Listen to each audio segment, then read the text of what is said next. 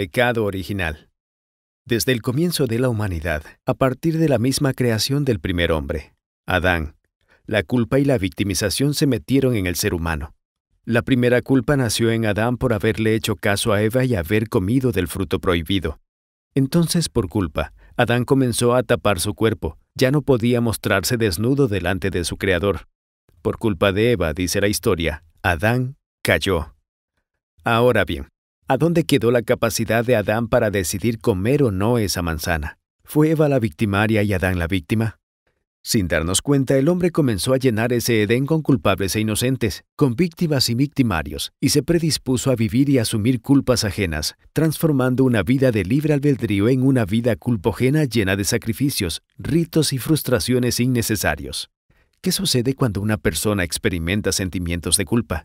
Sufrirá privaciones, Dirá frases tales como, No tengo tiempo para mí. A mí sí me gusta lo que estoy haciendo, pero no vale la pena. No lo puedo lograr. Mi familia nunca pudo alcanzar este sueño. Son dichos y emociones culpogenas, culpas desde el momento en que un obstáculo bloquea tu sueño y afirmas que no tienes la capacidad para llevarlo a cabo. Vives con culpa. La culpa es la emoción más obstaculizadora en el camino de los anhelos y objetivos. La culpa te hará sentir que no eres merecedor de esos beneficios, que tu deseo es mucho más para ti, y en medio de un mundo en el cual cada ser humano trata de obtener ventajas y aprovechar al máximo cada oportunidad, te sumergirás en la culpa, dejando que otros tomen lo que es tuyo. Autorreproche.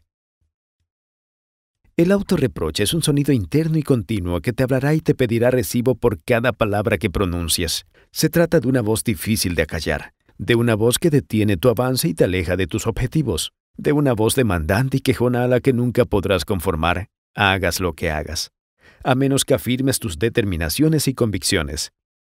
Es un eco constante. Se trata en síntesis de una voz amenazante que cada mañana al levantarte deposita en tu mente el primer pensamiento negativo del día.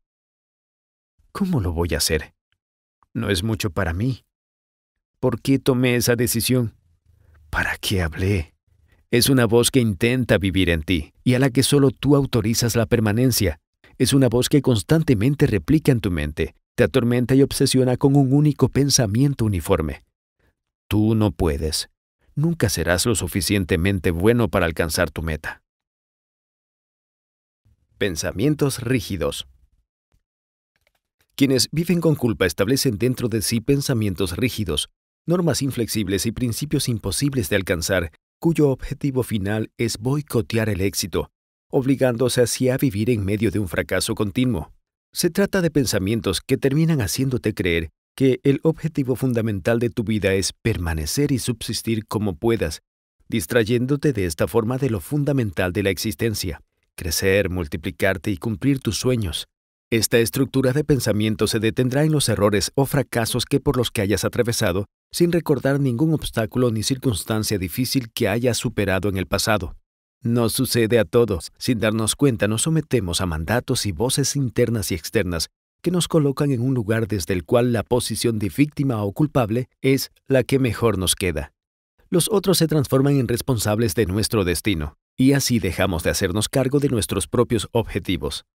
De esta forma obtenemos el beneficio secundario de depositar en los otros la culpabilidad de nuestros desaciertos y desdichas, y de hacer de nosotros pobres seres humanos errantes y carentes de valor y dominio propio para decidir sobre nuestro hoy y nuestro mañana. Nos aferramos a dichos y voces. Mis padres me repitieron durante años que por haberme tenido no pudieron estudiar. Mis padres me decían, no dejes la comida en el plato. Piensa que hay chicos en África que se mueren de hambre. Siento culpa por haber sido abusada sexualmente. Me siento culpable por la separación de mis padres. Siempre me remarcaban mis errores y por eso me sentía culpable todo el tiempo. Tuve un padre ausente toda mi vida y debía hacerme cargo de mis hermanos, pero no supe cómo. Yo tengo la culpa de sus situaciones actuales. Todas estas son maneras sutiles de transmitir culpas que nos detuvieron en el camino hacia la búsqueda de la felicidad y del bienestar que nos merecemos. Son culpas ajenas, generadoras de insatisfacciones continuas. Son culpas que se alimentan de mandatos externos y sociales, y de emociones internas no resueltas que siguen teniendo poder y valor sobre nuestras vidas. Hay personas que han sido criadas en familias que las han hecho responsable de la separación de los padres, de la pérdida del trabajo de la madre que en un momento decidió quedarse en su hogar para cuidarlas, o de las frustraciones profesionales de sus tutores. Y así podríamos seguir anunciando los mandatos que cada familia se encargó de transmitir a tantas personas. Se trata de creencias culturales que jamás te permitieron alcanzar ni disfrutar en absoluto de nada. Son las exigencias que te mandaban que dieras más, siempre un poco más. Y claro, como no pudiste alcanzar ese parámetro de perfección, terminaste ubicándote en el lugar de víctima, acarreando culpas que no te correspondían. En este punto es necesario que nos detengamos. Lo que decidimos escuchar y aceptar como nuestro es lo que nos enferma y nos detiene.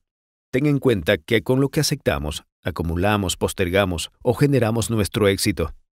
¿Quién maneja el control remoto de tus emociones y pensamientos? ¿Quién decide qué pensar, qué sentir? Solo tú. Dependerá de ti, de tu decisión de ubicarte en el lugar de víctima o de poder sobre tu propia vida. Las personas suelen decir, el día me puso mal, mi jefe me sacó de quicio, me arruinaste la jornada, hoy me saturaste. Si escuchas estas frases es porque colocaste el poder que tienes sobre tus propias emociones en los demás Así es como son los otros quienes terminan controlando cómo te vas a sentir o qué es lo que vas a hacer. Aceptando este trato, cualquiera podrá decirte qué hacer y qué no. Los demás podrán manejarte y lastimarte con permiso. Sí, con el permiso que tú le diste para acceder al lugar de control y poder sobre tu vida. No fuimos creados para vivir de limosnas ni lisiados de afectos. Nadie tiene derecho a castrar tus sueños más profundos ni asegurar qué es lo que te conviene o no. La felicidad y el éxito, la dicha y el fracaso serán el resultado solo de tus propias decisiones. Todo lo que hayas dejado de lado para conformar a los demás puede ser recuperado si así te lo propones y decides no postergar más tu deseo.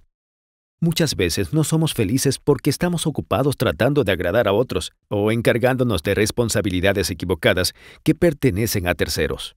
Consumimos todo nuestro tiempo erróneamente y cuando queremos saber a dónde se fueron tantos años de nuestra vida, cuando necesitamos apuntar lo que hicimos en el transcurso de la misma, nos damos cuenta de que malgastamos el tiempo que necesitábamos para ocuparnos de lo prioritario e importante, nosotros mismos.